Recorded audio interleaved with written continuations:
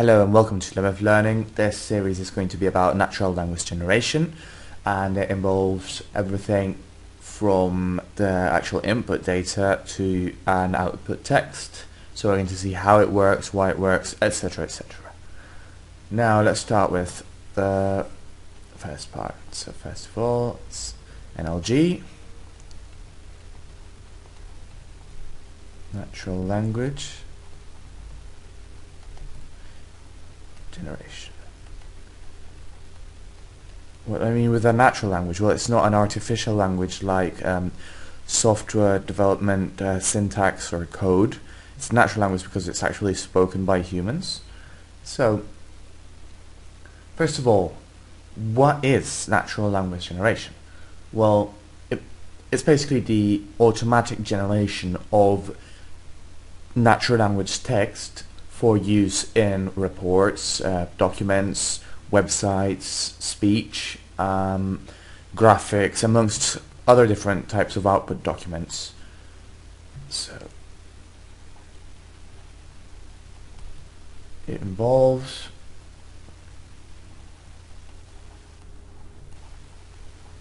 generation of text for use in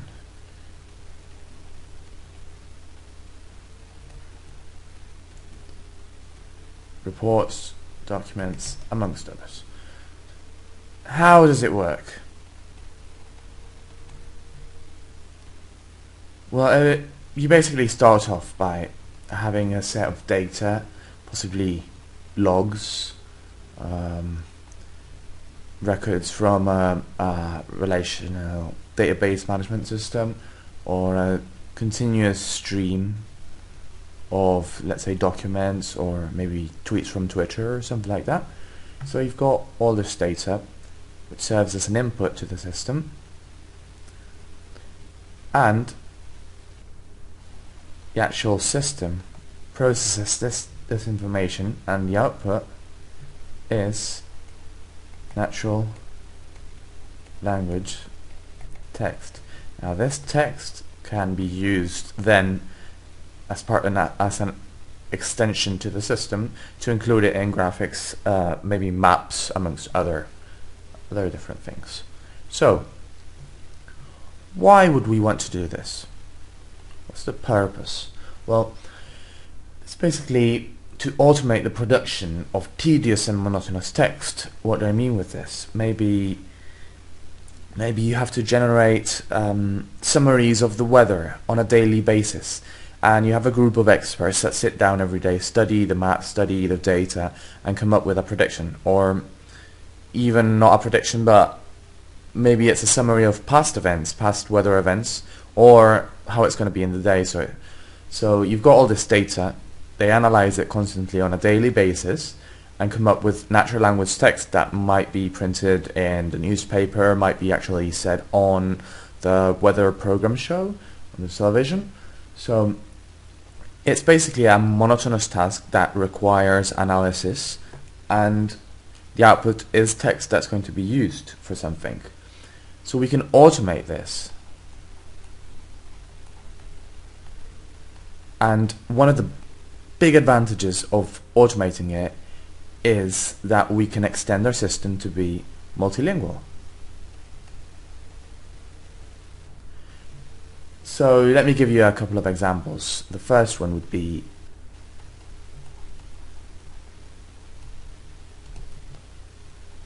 FOG, which was developed by CoGenTex in, I believe, 1993.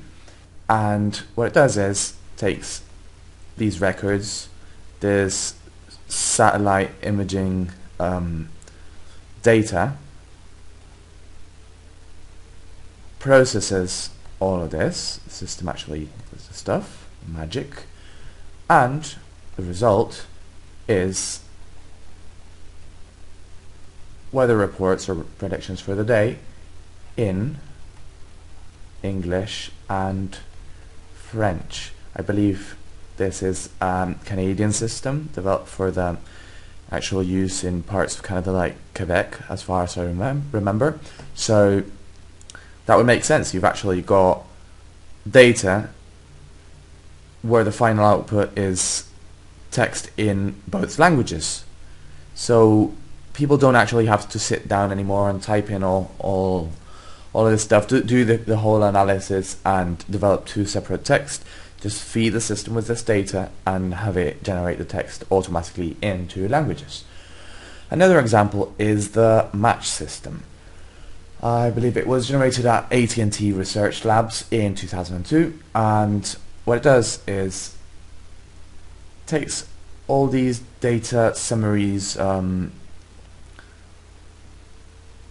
from restaurants uh, such as maybe reports or evaluations by people as if it was a good restaurant or if it wasn't um, how was the, the decor the, um, the actual food quality the prices etc it takes all these records from different restaurants. I believe it's around New York.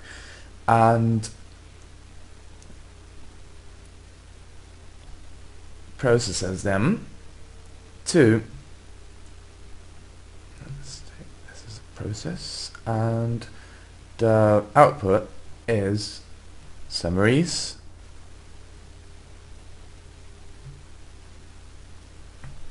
comparisons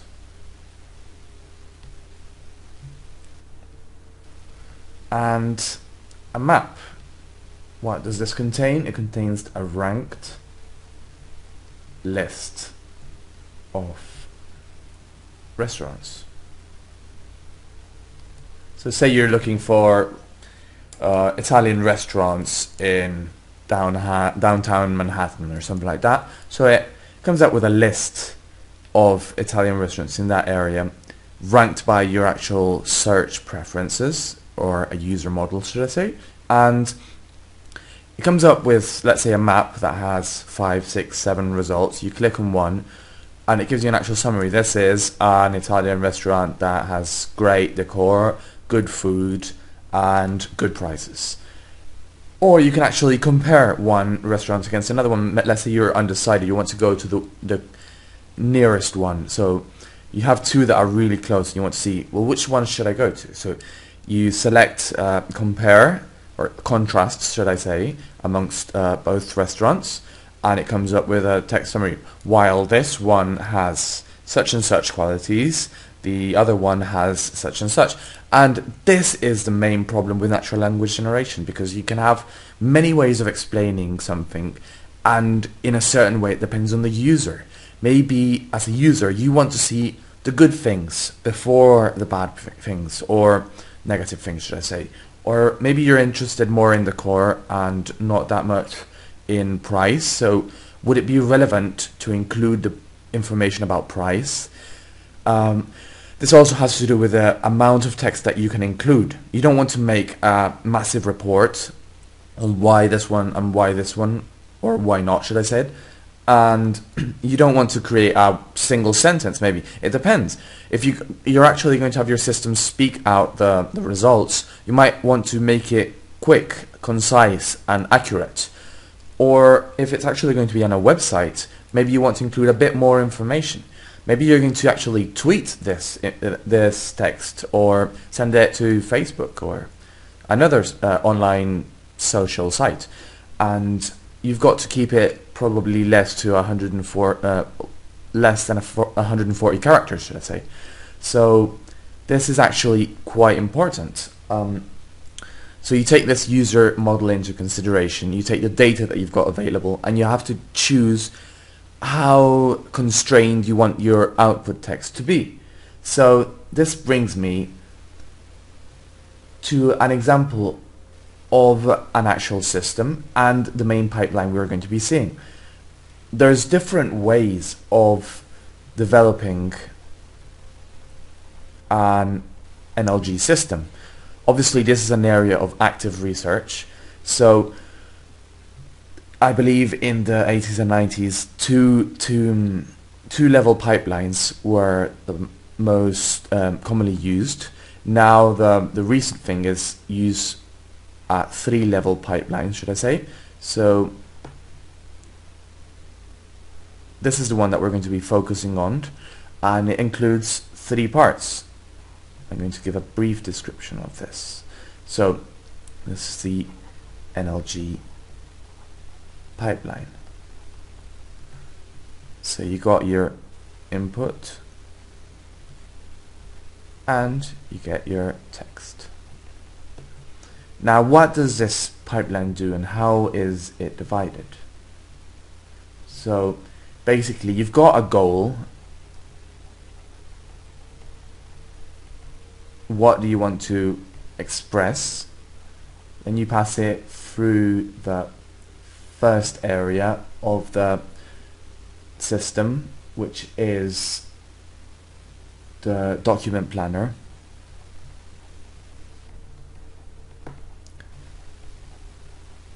which basically states how the whole document is organized, places the constraints, and how are the is it going to be generated in one paragraph, in five paragraphs, etc., etc. Then you feed it. Uh, this this results in document plan, which might be a hierarchical kind of um, set that includes basically the order of the paragraphs or sentences, should I say. And you pass it through, uh, this document plan would be the input to the second part of the system, which is the micro planner.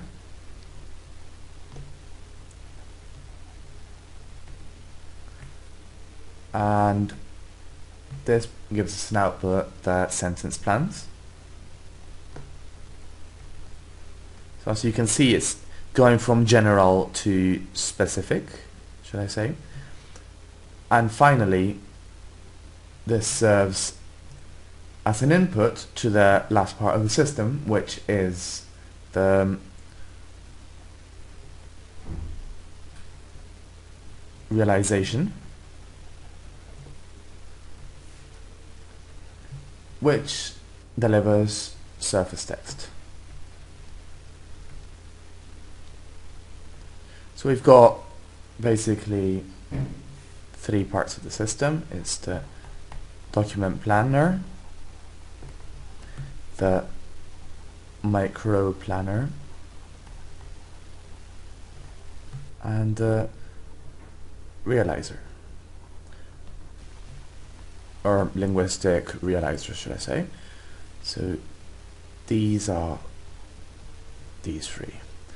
And obviously what you do in each part, in each um, segment of the system or level of the pipeline is a bit ambiguous. For example, you've got um, the part where you generate the, the grammar that's going to be used and you've got the actual ordering of the sentences and then you've got the actual choice or lexical choice of words. So sometimes um, you can combine a bit each one of the levels, maybe like the micro planner and the realizer, and it all depends on the actual system. If it's going to be multilingual system, if it's going to be uh, only generating text in one language, etc., etc. So we're going to be going um, about this, reviewing each one of these levels in detail in the following videos, and I think we'll leave it like that for now. Um, an important thing to know is that the book that we're going to be using is called Building Natural Language Generation Systems.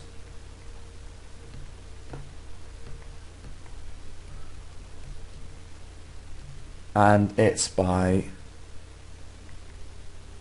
uh, Hud Reiter. Hope I pronounced that well. And Robert Dale. So this is the book where I'm going to be, let's say, getting the content from, or most of the content should I say, because there's also some really interesting papers. So if you want to check out this book, be my guest. It's quite informative and anyway that's all for now and see you in the next video.